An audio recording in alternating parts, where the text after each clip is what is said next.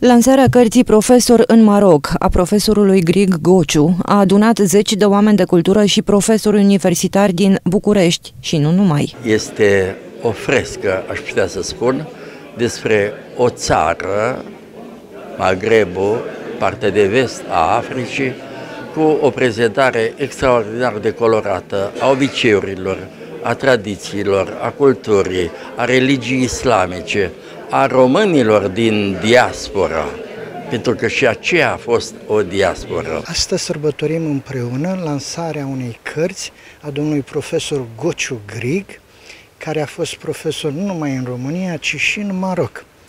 Dânsul aici își exprimă cele trăite acolo. Nu este nimic facil, pentru că dânsul a predat în limba franceză.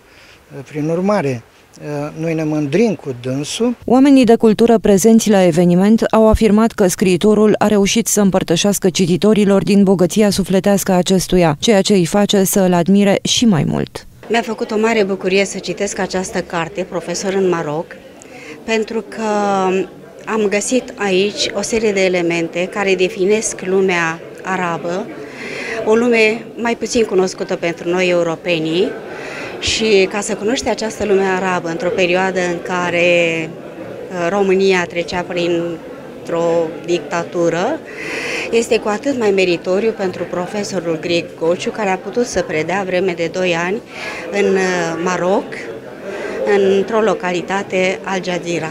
Am venit de la Roșorii de Vede, special pentru prietenul meu de suflet, care îi spun bădie, pentru că e puțin cel mai mare ca mine în ani, dar e și un om deosebit, pentru că a reușit în mod personal, în maniera personală, să povestească viața de student, exact ca a mea și a altora din acea perioadă, iar cu această carte ne-a cam făcut puțin praf, în sensul că ne-a adus o altă lume, lumea din Maroc și mai ales uh, surprins în perioada aceea când a visat că poți să mergi undeva. Era un lucru fantastic. Prezent la evenimentul cultural a fost și prefectul de Mehedinți Nicolae Drăghia, atât în calitate de profesor, cât și de reprezentant al guvernului în teritoriu. Acesta i-a acordat scriitorului o diplomă de onoare. Vreau să înmânez domnului Grigore Gociu cu această ocazie, numele instituției prefectului Mehedin.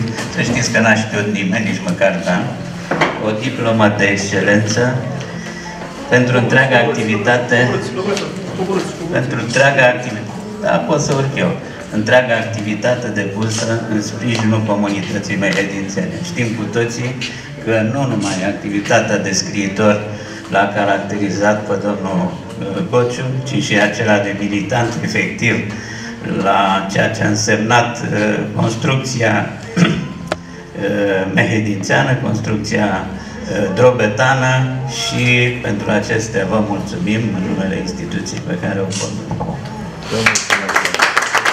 Această carte vine să dea exemplu din activitatea da, domniei sale profesională, Eh, am eh, văzut și cum a ajuns profesor în celelalte cărți și le-am citit cu mare plăcere.